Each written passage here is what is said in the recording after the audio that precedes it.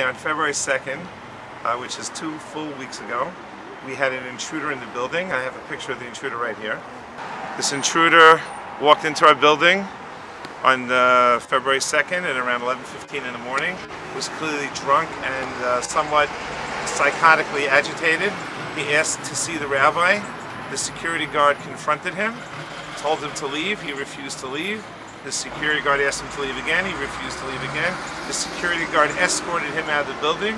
The uh, person resisted. The security guard physically escorted him out of the building. The person resisted again.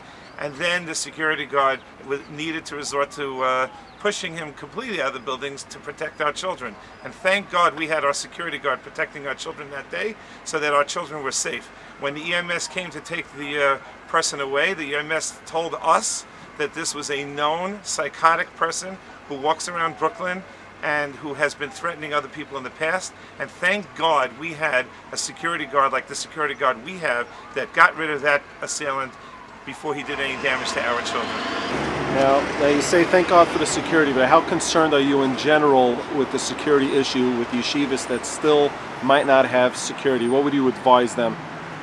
Listen, in these days and ages, every single yeshiva needs to check into its security. We have done a complete security analysis of all of the uh, facilities in our yeshiva, and I would recommend that all other yeshivas do the same thing.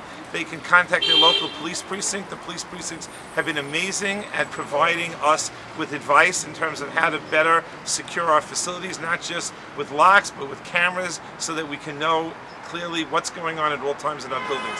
And it's a tremendous thing. Every building, every Jewish building needs to take appropriate precautions as soon as possible.